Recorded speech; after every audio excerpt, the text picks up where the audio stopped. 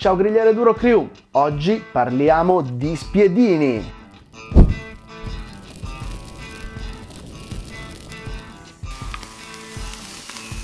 da questa parte.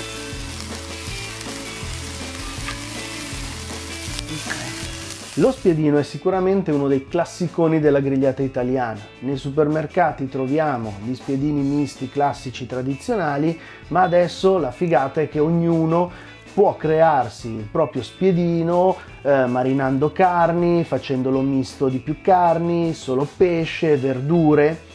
Infatti, noi di Grigliare Duro abbiamo pensato proprio a voi. Abbiamo selezionato questo kit di 6 spiedi eh, che è veramente veramente una figata e adesso vi farò vedere le caratteristiche.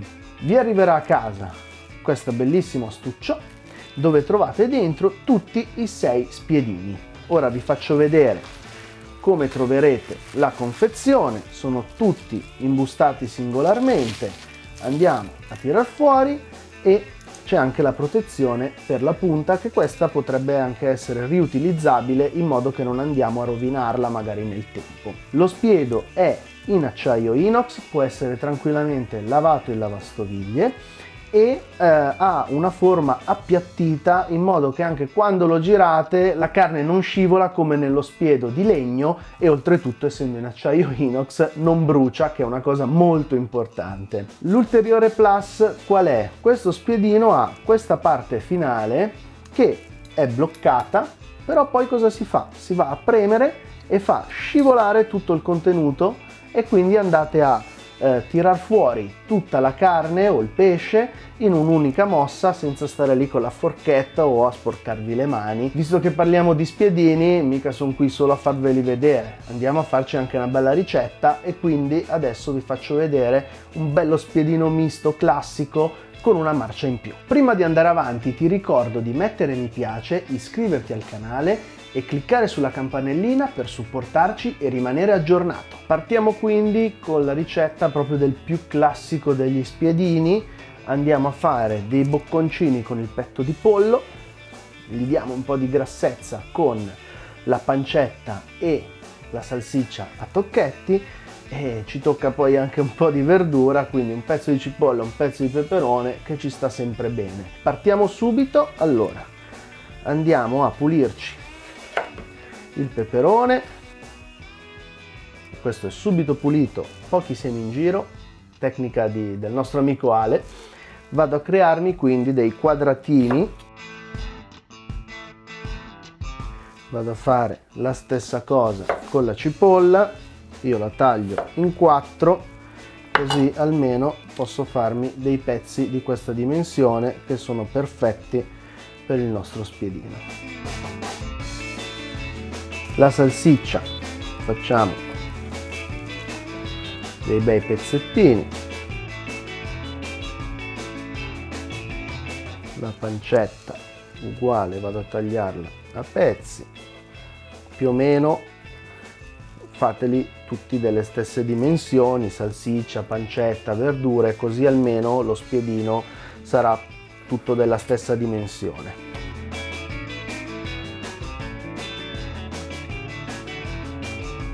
per ultimo il pollo anche qui andiamo a fare dei bocconcini in questo modo. Taglio a metà il petto magari tiro via la punta se voglio proprio fare il precisino e vado a crearmi i miei bei bocconi. Uno due. Abbiamo porzionato tutti i nostri pezzi e andiamo a crearci il nostro spiedino. Quindi prendiamo lo spiedo andiamo a prendere prima la salsiccia che fa una bella base grassa. Una cipolla. Andiamo a mettere il pollo. Dopo il pollo la pancetta. Così è bella grassa e mi tiene umido il pollo. Se magari è un po' grossa andiamo a piegarla e così rimane bella. Andiamo poi a prendere di nuovo una verdura e ripetiamo tutto quindi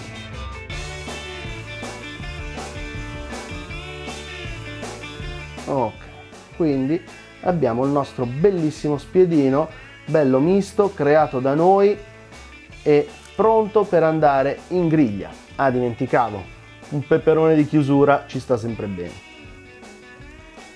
Pronti i nostri spiedini, ho deciso anche di fare una sorta di salmoriglio da spennellare in cottura sugli spiedini in modo da insaporirli per bene e mantenerli belli succosi.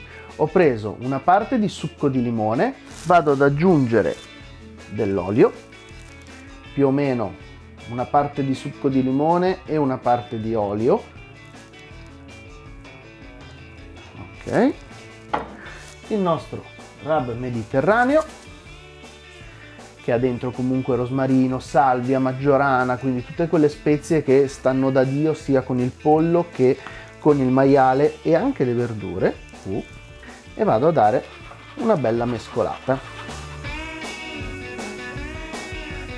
Predisponiamo il barbecue per una cottura a due zone. Iniziamo mettendo gli spiedini in cottura indiretta e andiamo a spennellare il nostro bell'intingolo in modo che cucinino più o meno per una mezz'oretta a 150-180 gradi insaporendosi bene con il nostro intingolo. Passato questo tempo e controllando con un termometro che sia il pollo che il maiale abbiano raggiunto circa i 70 gradi interni andiamo a spostarli in cottura diretta per andare a creare la nostra bella crosticina. Una volta che il nostro spedino è ben dorato siamo pronti per mangiarcelo. Eccoci qui, dopo più o meno mezz'oretta, 40 minuti, i nostri spiedini sono pronti e perfetti. Andiamo a vedere la figata del nostro spiedino grigliare duro che io vado a schiacciare e zac! Ho tutto il mio spiedino già sul piatto pronto per essere mangiato e io non so scemo quindi assaggio. Mm. Mm la salsiccia sempre una bomba. La prova del 9 la facciamo sempre sul pollo. Mmm, questo è proprio cottura perfetta, una vera bomba.